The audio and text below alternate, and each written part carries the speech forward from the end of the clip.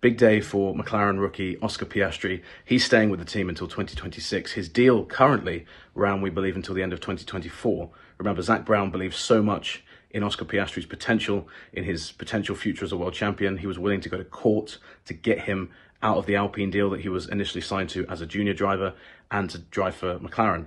This is a huge statement of confidence and belief, not just from McLaren in Oscar Piastri, but also from Oscar Piastri in McLaren.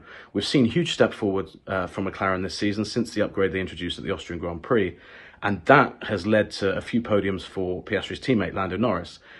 Zak Brown, McLaren CEO, he wants McLaren to be fighting for championships in 2025 it's a long way off at the moment. Red Bull is still so far ahead, but the trajectory they're on suggests that if any team can do it, they're in the mix to do that.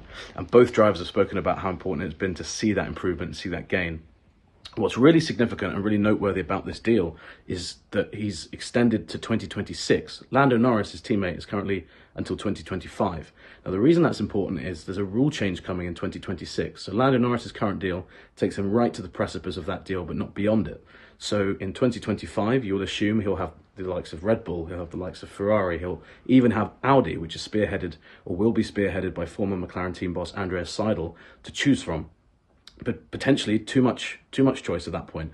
What Piastri's done is he's taken himself out of out of the conversation. He's taken himself out of all the driver market news we'll have in the lead up to that regulation change that's coming into force that people hope will reset the current competitive order.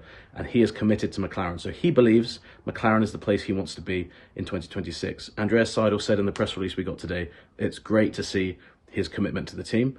And now we have Piastri and Norris together for another two seasons. And they might not be the most experienced driver lineup in Formula One. They still, between them, don't have a win under their belt yet. But if you're talking about excitement and raw talent, hard to see or hard to make an argument that there's any more exciting driver lineup in Formula One right now. So big day for McLaren and a huge day for Oscar Piastri fans. Thanks so much for watching ESPN on YouTube. And for more sports highlights and analysis, be sure to download the ESPN app. And for premium content and live streaming, subscribe to ESPN Plus.